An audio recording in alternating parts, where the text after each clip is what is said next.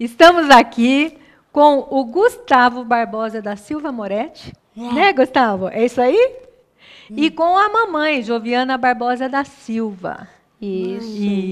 Isso. E hoje, gente, nós vamos aqui comemorar o Dia Internacional da Síndrome de Down. Uhum. E esse Gustavo apareceu aqui na TV Osasco e veio e deu um abraço na gente. Bom, primeiro que Down é assim, é puro amor, é. né? Mas, Jô, eu queria que você contasse um pouquinho da história aí do Gustavo e você me dizia que o Gustavo nasceu, você percebeu que tinha algo diferente, Sim. mas que não, uh, os médicos não acharam notavam, que não. não. Inclusive, ele teve uma nota muito grande no nascimento, né? Isso, ele teve um apigar de 9 e 5 minutos oh. depois de 10, né? Que é, que é a nota normal. Normal, né? Você, é o Gustavo tá. que está aparecendo. Tá bom, agora né? vamos conversar. Deixa a mamãe conversar é. com ela, tá? Viu, Gustavo? Ó, a mamãe vai contar um pouco da sua história. O Gustavo, gente, também adora hum. gravata, né, Gustavo? É. É. Muito né? bem. Olha Ele quis pôr uma gravata para ficar bem bonito para vocês, né, bem Gustavo? elegante, né, Gu? Ah, elegante. Ele é todo charmoso. Mas então, e daí como é que foi? No próprio hospital você falou assim que você percebeu algo diferente, hum. porque o Gustavo é o terceiro filho. Sim, sim. O que, que era diferente? Ele dormia demais. Ah, Ele tá. dormia muito e era muito molinho. Tá. Né? E é uma sensação de mãe mesmo, acho né? Porque só eu percebia, é, chamava os médicos, faziam exames, né? Diante do, da minha reclamação, ah. da minha ah. colocação, eles faziam exames. Hum. Mãe, teu filho não tem nada, normal. Tá. Tá bom, pode tomar uma aguinha. Pode falar, mãe. E, e saiu do hospital, né? É, com isso. No seu filho não tem nada, é, cada filha de um jeito, isso eu concordo, realmente. Cada gestação é de um jeito, cada filho tá. é de um jeito, né? Ah, tá lindo. Ah. E aí ele foi para casa, né? E eu continuei achando que tinha alguma coisa diferente. Levei em três pediatras diferentes na época, né, do plano de saúde dele. Todos disseram que realmente ele não tinha nada, né? Tá. E aí, por fim, eles começaram a ficar preocupados de tanto eu reclamar e acharam que quem tinha alguma coisa era eu. Tá certo. Que eu estava com depressão pós-parto. Entendi. Que é muito comum, comum também, né? Muito comum. Sim. Eu mesmo tive, não é fácil. a gente precisa cuidar. Precisa cuidar. É. E com isso eu comecei a tomar o medicamento, né? A minha pressão também é, ficou bagunçada e eu tive que tomar remédio para pressão. A pediatra dele falou: olha, é muito remédio, né? Uhum. Para ele que vai tomar, amamentar. Que vai, é, que vai passar através do leite. Então, vamos então tirar o peito. E foi. Só que assim, ele passava muito bem, né? Tomando o NAN e estando sendo amamentado. No momento que eu parei de amamentar, aí ele passou muito mal, né? Que deu a, a internação. Fui viajar, ah. ele se internou. Aí a coisa se complicou, ele quase morreu, ele é praticamente ressuscitado. Tá. Mas... E quando que vem descobrir que ele realmente tinha era Down? Então, quando ele ficou internado no hospital Alzira Velano, lá em Minas, ah. é um hospital é, escola. Então, Hoje eu acho assim muito incrível, porque eu comentei com eles, né, que eu passei por esse período de ficar falando para os médicos e eles Mãe. também não viram nada, Mãe. né? Gustavo, olha aqui, a gente está gravando. É, não tem problema. Pode, Jo, pode continuar. Deixa tá, ali, ali deixa. à vontade, tá viu, bom. Gustavo? Então, aí eles também não, não, não acharam nada. Se bem que quando ele foi internado, ele ficou tão tão debilitado assim, né? Tá. Que, que, realmente que também não que... dava para perceber. É. Aí, depois de 35 dias ele teve alta, a gente voltou, né, para cá, Ah, para São Paulo.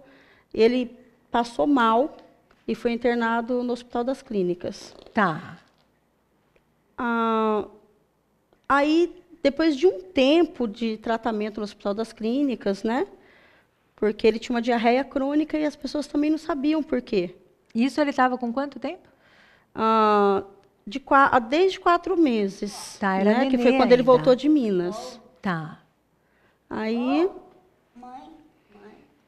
ainda demorou quatro meses. Tá, No, novinho. no nono mês, né? Ele estava com nove meses, ia fazer dez meses quando ah, eu voltei com esse assunto, porque a prioridade era a saúde dele, claro. o bem-estar dele, a recuperação dele. Aí, eu conversando com o fisioterapeuta, Ah. né? Aí eu falei, né, da, da síndrome e tal, e conversei com a médica, ela falou, então, vamos pedir um cariótipo, né? Tá. Aí fizemos, o primeiro não deu nada, Que coisa. Aí, só que daí ele já tinha feições, tal, já era mais perceptível Tá. na época. Que tem uma das coisas, o olhinho puxado. Sim, Embora eu sim. achei, eu acho pouco dele. É, o dele é pouco, É. e os outros traços ele não tem. Ele não tem a fissura da língua, ele tem um M na mão, tem os DAO que só tem um risco, né? Ah, é? A pontinha dos disso. dedos é meio quadradinha, dele também não é. A- O Olha. pezinho dele é, geralmente é reto. Ah, O do Gu tem lá o, A a, curvinha. curvinha. s- igual, entendeu? Então, o primeiro cariótipo deu normal. O segundo que. Isso, o segundo que deu. Caramba! É. Ah, Mas eles falaram que como ele estava internado, tomando muito remédio, poderia, né? alterar. Isso, ter Que alterado. coisa, não? E foi aí que aqui. E, e depois aí você descobriu e o, co- como foi assim para a evolução, né? Em que dele? sentido? Assim, no sentido de escolinha, participou de escola, Então. fez fisioterapia. Nessa internação que ele teve de 35 dias, ele Aham. quase morreu. Ele Tá. ficou muito debilitado. Aham. E nisso, ele, ele teve pneumonia pela primeira vez. Aí você falou que se repetiu, e né? isso, isso ficou crônico. Ele começou a ter pneumonia de repetição. Poxa. Então a gente ia para o hospital, voltava para casa, passava uma, duas semanas, o tempo mudava. Ia lá- novo. E lá estávamos nós de novo no Cotoxó, Ah, né? E isso durou quase dois anos. Tá. Aí as fisioterapias ficaram muito difíceis. Ele começou, fez um pouco de terapia na APAI, quando tinha ali perto da prefeitura. Tá. É, na Unifiel, ele fez também um, um pouco de fisioterapia. Na, na APAI, ele fez fono. Só que era assim, ele começava e internava. Não conseguia Entendi. dar sequência em nada. Entendi. Nada. Tá. Atualmente ele o- o Gustavo agora está com 12 anos, né? Isso. Hoje o que que o Gustavo faz? Então, hoje ele está na AMEP, que Na é uma AMEP, escola que é ali especializada, né? No Rochidale, que tem um trabalho muito bacana. Sim, sim. Tá. Ele entrou lá esse ano. Tá. Ano passado ele esteve estudando no Bem Me Care, que é no Bela Vista, uma escola especial também. Ah, é? Só que assim, é sempre uma escola especial e a escola estadual. Ele vai na escolinha estadual também? Sim, ele Tá. sempre faz as duas. Sim. E na escola estadual ele está em que ano? Na sétima. Na sétima. Tá. E como que é assim a convivência na escola? Por exemplo, hoje você me falou que ele tinha psicóloga, acabou não dando Isso, certo. na terça ele faz psicóloga. Ah, Então, esses anos têm sido muito complicados, né? ah, Porque teve uma época que eu paguei fono, não conseguia fono. Fono é uma coisa muito difícil aqui em Osasco. tá. Sabe, é inacreditável. Então, ele começou a fazer fono na Vila dos Remédios. Ele quase estudou lá, ficou lá por duas semanas, na AME. Só que era muito contramão, não tinha como. Aí eu levava Na ele só para. da Vera. Isso, da Vera e da Elaine. E da né? Elaine, isso, nossas queridas. Isso, são umas lindas. É. E depois ele deixou, não tive como levar, ele era de colo ainda, né? Tá. Muito peso, muitas conduções, eu morava no Jardim das Flores, não tinha como. Aí ele continuou fazendo fono. Tá. Fez fo fono, continuou fazendo fono lá com a Roseli. Ah, depois ela saiu de lá. Aí ela perguntou se eu queria que ele continuasse com, com ela. Aí ele continuou com ela no Santo Antônio. Tá. Depois ele fez Cian também, fono no Cian. E fisioterapia praticamente ele não fez. Fez um pouquinho na Cedipo, quando ainda tinha também aqui em Osasco, lá no Santo Antônio. Tá. E do tratamento foi isso, Aham. sabe? Agora, precisa, ele precisa de fono, né? Eu, no Cian só vai até 10 anos. Ah, é? É. Não sabia É, então Tá, ele fazia faz um lá, e trabalho lá realmente foi, nossa, foi ali que eu vi que realmente ele tem uma capacidade muito boa de aprendizado, desde Ah. que seja focado, voltado para ele. Sim, Entendeu? um atendimento especial, né? Isso. Por isso que a gente luta tanto aqui em Osasco, né? Tantas mães, pelo centro de reabilitação aqui, né? Nós tivemos aí o projeto Viver Sem Limites Osasco e uma das coisas que foi contemplado é ter esse centro de reabilitação, porque vai servir para tantas, tantos jovens, todo tantas crianças, tá tantas famílias que precisam, né, mãe? Com certeza. Nossa, olha, é uma luta muito grande. E eu trabalho, sabe? Tá. Então, E aí, com quem que fica o Gustavo quando você trabalha? Então, até dois anos atrás, ah, ele tinha uma babá que foi a mesma pessoa, a Marlene, um anjo, uma mulher maravilhosa, que cuidou dos meus outros dois filhos, que eu tenho dois outros filhos, né? E ela cuidou deles. Tá lindo, Gustavo. Ah, Inclusive, eu me mudei para ficar perto dela, para que ela Tá. olhasse o Gustavo, tá. né? Mas há dois anos eu me mudei para o Piratininga e ficamos longe da Marlene. Entendi. né? Então agora eu estou trabalhando só quando ele está na escola, Entendi. entendeu? E você trabalha com o quê? Eu trabalho com vendas. Ah, tá. Ainda bem que você tem um horário meio flexível, Sim, né? sim. Mas mesmo Tá. assim, só, eu não consigo me dedicar, né? Aham. Por conta. Esse ano, assim, o que pegou para o Gustavo, eu fiquei muito feliz que ele conseguiu a vaga da AMEP, né? Tá. Só que eu não esperava que eu não fosse conseguir um transporte. Ah, é? É, nem particular. Como assim?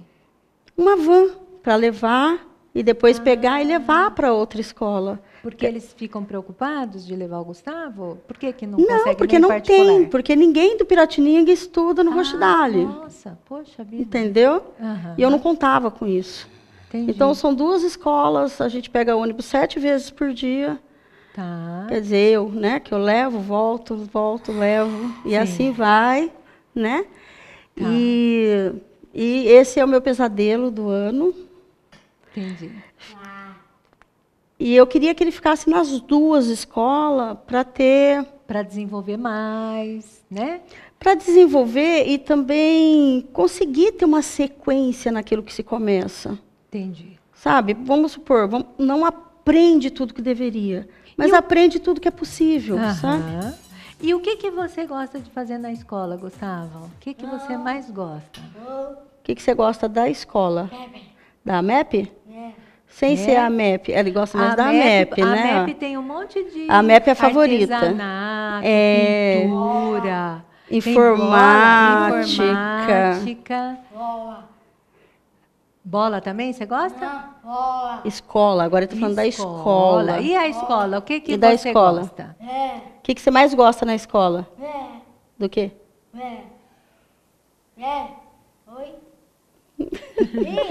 Bom, uma das coisas que eu sei que na escola tem é a namorada, não é? A namorada? É.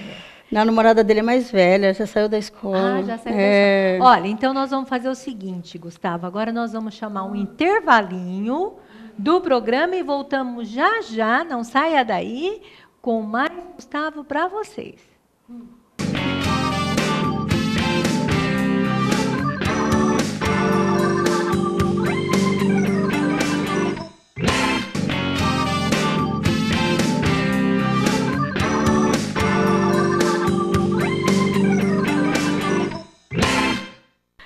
Bom, gente, nós estamos aqui com o Gustavo Barbosa da Silva Moretti, sua mamãe Joviana Barbosa da Silva. Isso. e nós estamos aqui comemorando o Dia Internacional da Síndrome de Down, que é hoje, dia 21 de março. Né, Gustavo? O Gustavo tem 12 anos, né? Vai em duas escolas, né, Gustavo? E eu fiquei sabendo que você tem até namorada. É verdade? Tem namorada? Como é que chama mesmo, mãe, a namorada do Gu? Moniquinha. Moniquinha? Ele fala que é Quinha. É Quinha. Moniquinha, Quinha. Hum, então a Mônica já pensou, a hora que vê a Moniquinha, a hora que vê o Gustavo na televisão, vai ficar toda cheia. Hum, É? vai adorar, hein? E o que que o Gustavo gosta de fazer? Gosta de ir na escola? Não. Agora não gosta mais. Tem muitos amigos? Tem. Aliás, isso é uma das características Nossa, do meu Down, Deus. que é fazer amizade, né? Já Olha. chega abraçando, beijando, é muito amor para dar, né? No bairro onde eu moro tem que ter paciência. Ele vai passando todo mundo, Gustavo. Você que vai falar? Então fala. Então fala, Gustavo. Isso. Então você tem muito amigo? É? Muitos amigos. Tem, tem cachorrinho também? Não. Cachorro não, nem gatinho?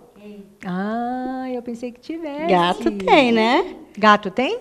Ei. É, Quantos você tem? gosta? Quantos? Fala pra ela quantos tem na sua casa. I, I, A, Emily I. Ah, e Nietzsche. Então tem duas gatinhas? É um gato e uma gata. Um gato e É uma a Emily e o Nietzsche. Ah, tá. O Gustavo tem mais dois irmãos, É. né? É? Quer mandar um beijo pros irmãos? Não. Não? é o caçula mesmo. É. Mas eu estava vendo, né, gente? é, tem o, o- nesse dia né, de conscientização da síndrome de Down, uma das coisas que é falado, né? É, é caracterizado pela presenta- presença de 47 cromossomos em suas células, em vez de 46 como é a maior parte da população. Né? A síndrome de Down acontece no momento da concepção. E este nome de Down, de síndrome de Down, é por conta do médico britânico que descobre que é John Langdon Down, que descreveu o problema em 1862. É, isso pode acontecer um caso a cada mil nascimentos. É também falado trissomia 21, que é uma doença, que não é uma doença, e sim uma condição genética causada pelo cromossoma 21, né? Isso.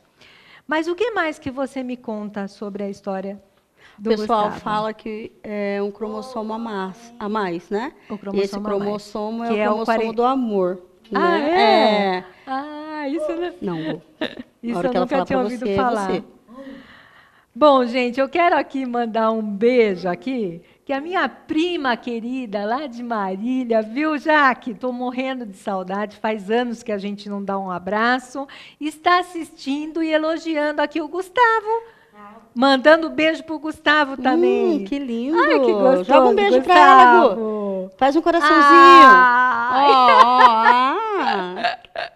É isso daí.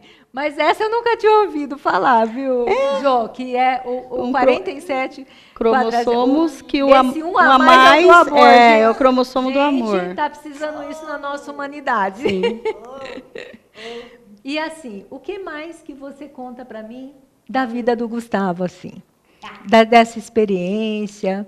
Olha, a gente aprende muito com o Gustavo, Ah, né? A gente aprende que a gente complica muito, né? é mesmo? É, ele adora karaokê, Ah, mas ele praticamente não fala quase nada. É. A gente tem medo de desafinar. Ele vai lá e canta com vontade. e canta e encanta. Aposto. Canta, encanta, tem um monte de fã, todo mundo adora, sabe? Ele faz um super sucesso. Com aquilo que ele tem. É isso que a gente Ah. tem que aprender, a viver com aquilo que a gente tem. A gente se melhora, Tá. Mas aprender a ser feliz, né? Com aquilo que a gente tem. Gente, Isso que é recado muito é esse? bonito. Esse recado é para mim também. É, a gratidão, né? Ser grato com tudo que a gente tem e fazer bom uso disso. Que Eu percebo que olha- ele faz muito bom uso de tudo que ele tem. Sabe? Essa facilidade de fazer amigos. Ele adora jogar bola, ele adora dançar. Ah, aliás, ele, ele adora adorou- videogame. É, dançar, ele estava dançando aqui na musiquinha Ele estava do, dançando. do ele, horário olha, especial. ele adora dançar. É você? Ele adora falar, ó. É, fala um pouquinho, Gustavo, então. Conta para nós. Tá falando da Quinha. Dá, Você tá, Tá apaixonada, né? quer, quer falar da Quinha. Tá bom. Ela faz É? assim? Ela faz assim também? É, brincando com ele. É? Ah. A gravata que você pôs. Que eu- A gravata. Pra pedir ela, sim, em casamento? Você vai pedir ela em casamento? É mesmo? Ah. Ai, ela vai ficar muito feliz. É. Tem um filme legal, né? de Ela quer falar. Os Três Amigos. Ele já assistiu Os Três Amigos? Que, Acho que não. que, que ele é down. É, bem, é ele, ela é down. É muito legal. Ah, Três o- colegas. Falei errado, Filme né? Três Colegas. Amigos. Já, eu Colegas. levei ele no cinema pra ver. Ah. Ele está querendo falar uma coisa aqui? Mãe, a- veja aí. que O foi, que, que Gu? foi, Gu? O que, que tem ela? Ele quer só quer Ah, falar tá. Ele tá falando que a, que a Quinha vai vir tomar sorvete com a gente? Tudo isso, sorvete? Nossa! Nossa, eu sei que eu ganhei até chocolate hoje, né, Gu? Trouxe chocolate, vai guardar chocolate pra Quinha também? Não? Vai ou não? Mãe. Só pensa em casar, Gu, você é muito novo pra casar, É muito amor aí. né? Batman. Ah. Mas, Jô, Oi. hoje, você, o que seria bom ter aqui em Osasco, ter para com essa experiência que você tem, que ajudaria muito esse desenvolvimento do Gustavo e tantos outros que estão precisando? Olha, aí é um assunto bem delicado mesmo. É Uma das coisas seria o transporte, né, que você eh, precisava. Olha, é que o, o caso do Gustavo é um caso específico, né? Ah. Não é que não haja um transporte da casa para a escola, da escola para casa, Ah. né? É que no caso do Gustavo são duas escolas. Então seria de escola para escola. Seria de casa para uma escola, desta uma escola para outra escola. E Tá. eu pegaria, Gustavo, por favor, e eu pegaria no final do dia e levaria para casa. Certo. Porque como eu preciso trabalhar e também disponho de condução, se Aham. torna muito cansativo. Entende? Lógico, com Muito certeza. cansativo, O sabe? ideal seria que tivesse um centro integrado com tudo isso, né? Exato. E em relação à escola também, eu acho muito bacana a inclusão no sentido de estar com os colegas. Né? Eu acho que ele aprende com os colegas e os colegas aprendem com ele. Só que a escola não está nada preparada também para isso, né? Existe a boa vontade. A escola do Gustavo mesmo é o Eloy Lacerda. Olha, o pessoal, a- as professoras, né, é, diretora, todo mundo, eu acho pessoas ótimas. Mas a escola em si não oferece nada para eles também, Aham. entendeu? Sei. Então, esse ano mesmo, ah, já está uma situação delicada, porque trocou professores, aí o Gu ainda está se adaptando. Aham. Ele, quando ele, quando ele passa por um momento de estresse, né? E esse momento é contínuo, que nem uma escola, até se adaptar, aí cai todo o cabelo dele. Ele não é carequinha assim. Ah, é? Ele é hiper mega cabeludo. Ele tem Olha um só. cabelo maravilhoso, sabe? Aham. É, fazia uns tupete muito bacana. E o ano passado ele foi para a sexta série. Então ele saiu daquela escola que ele estava lá De pequenininho, com todo o vínculo. Aham. a realidade mexeu muito com ele, né?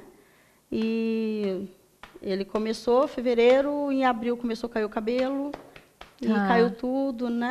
Porque é dele, é estresse que faz isso acontecer. Então, essas mudanças é, todas é dele, é dele, assim, eu diria em partes, né, gente? Porque é, aqui existe um, um grupo de famílias, de mães que usavam a escolinha Burjato, que é a escola infantil, e que por conta da inclusão, desculpa, eu não sou da área, tá? Eu só vou falar sentimentos que compartilharam comigo, né? Que é, tinha todo um trabalho maravilhoso, esse vínculo que me parece que só ficaram algumas crianças que estavam lá já, né? E tantas outras querendo entrar e voltar a estar Nossa, lá, por conta de ter esse espaço que não é o espaço, sabe, ler e escrever só. Essa convivência onde tem lá fisioterapeutas, psicólogos, terapeutas ocupacionais, tudo isso que é que é preciso, né? Então nós entendemos sim que, o quanto é necessário essa inclusão, mas a questão da inclusão de uma forma colocar na escola e é, e fazer a inclusão de uma forma Sim, forçada é um pouco preparo, difícil. É. Segundo as necessidades deles, né? É. E não tem. É uma pena que o nosso horário está acabando, mas eu quero mandar um beijo aqui. Olha, Gustavo, você está fazendo um sucesso danado, viu? Porque aqui, a Norma Campos, do- no, no Facebook, lá, gente, está mandando um recado para nós. É. Simplicidade é realmente o que o mundo atual está precisando. Que exemplo! Olha só! Olha, Gu, tua fama. Parabéns! E é Manda isso daí, gente. É, é, nosso olhar dela? especial vai ficando por aqui. Mãe, manda um recadinho aí para todo mundo, mãe. Então, gente, a- ser mãe do Gustavo é um privilégio. É realmente uma coisa maravilhosa. Mudou a minha vida. Eu aprendo todos os dias, né? Ego? É? Você tem certeza? Ele é muito bonzinho, ele é muito inteligente.